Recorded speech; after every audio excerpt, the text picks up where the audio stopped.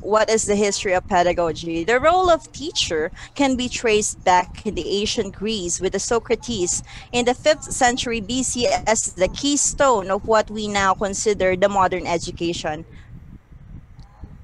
Uh, the role of teachers developed from the days of ancient Greece when the slaves would accompany the children to school whilst their masters worked and the profession of educator, uh, educator grew from there.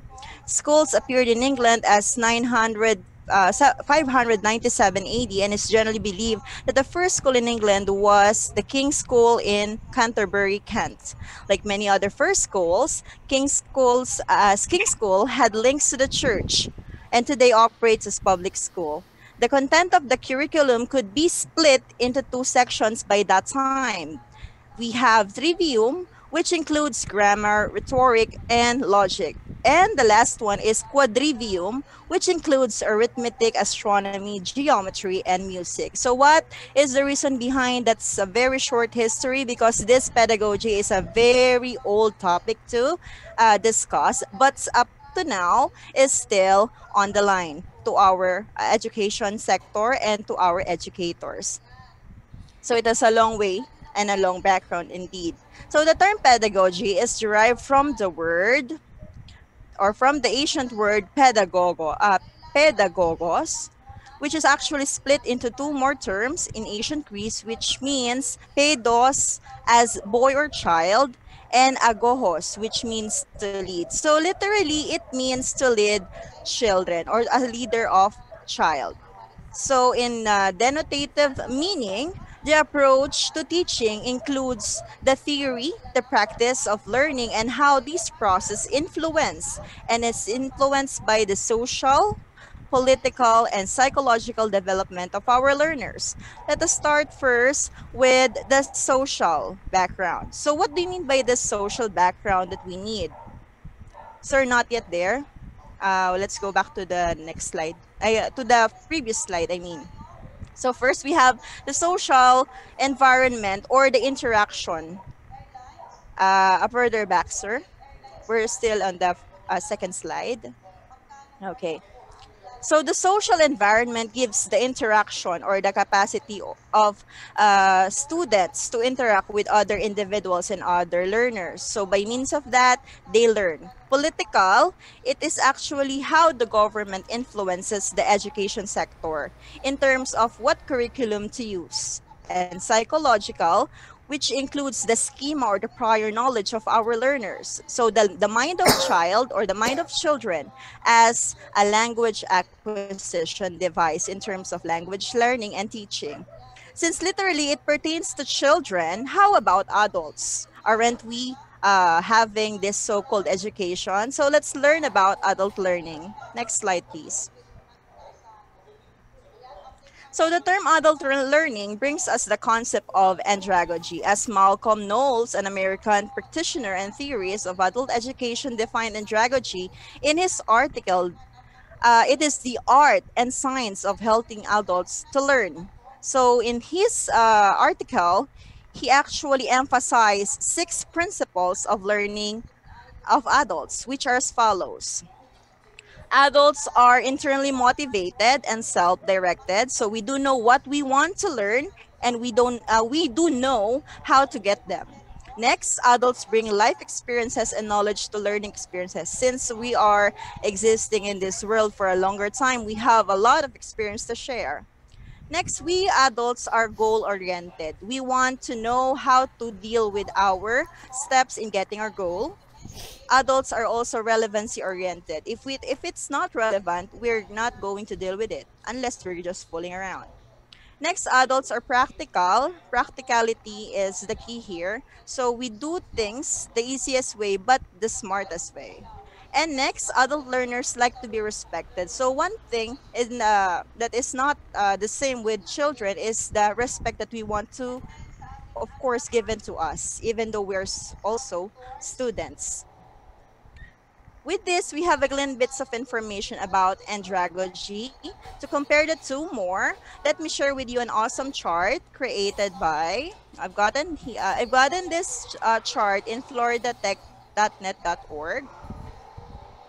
Next slide, please. Okay. So the learner, in terms of peda- uh, pedagogy and andro- andragogy, let me have it. I'm oh okay. So the learner is dependent upon the instructor for all the learnings. So independent in terms of what to do and what to actually think of, since the teacher is the main source of knowledge.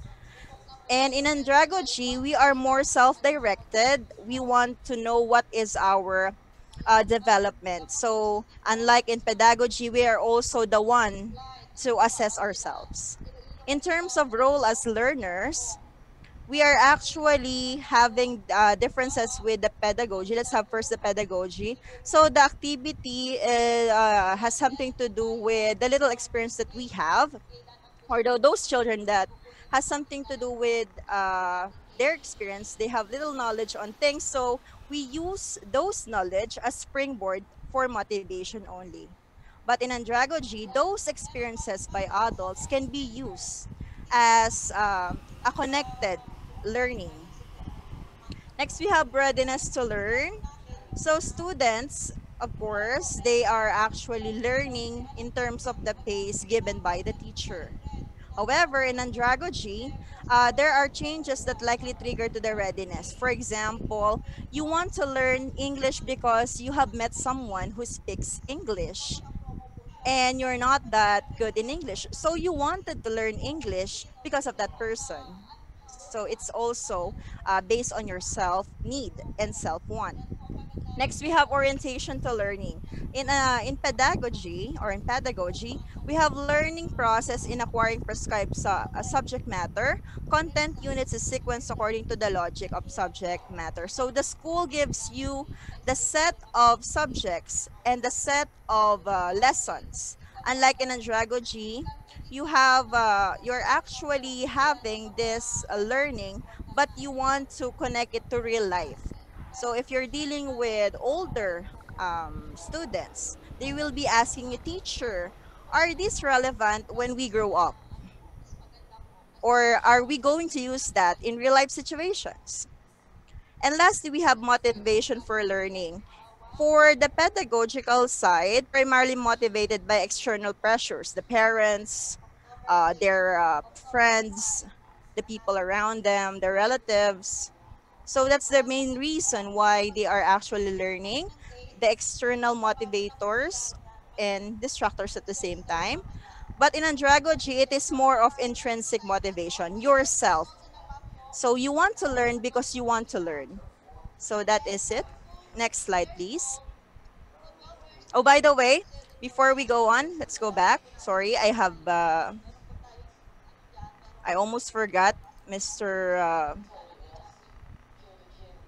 Mr. Whitby. So you have now the knowledge of pedagogy compared to andragogy. But Mr. Thomas, uh, Dr. Thomas D. Whitby, a famous person in uh, education at the same time, has a lot of followers in Twitter, or also known as Tom Whitby, wrote in his article entitled Pedagogy versus Andragogy he said and argued that these same principles can be used for both adults and kids, since there are some instances that kids are matured enough to think like a mature, and there are some instances that even you're an adult, you'll uh, you're you act like childish.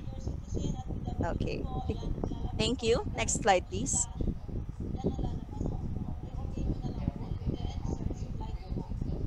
So we have here the pedagogical triangle by Norm Friesen. So we have in this illustration first the triangle which represents the teacher-student content relationship wherein there will be no teacher if there will be no student and of course for the learning or teaching learning process to continue you should have a content or topic to be discussed by the teacher and to be actually given reaction by the student and the circular illustration here are the pedagogical situation wherein the teacher will think of ways how to nourish this said student and how these activities will continue day by day.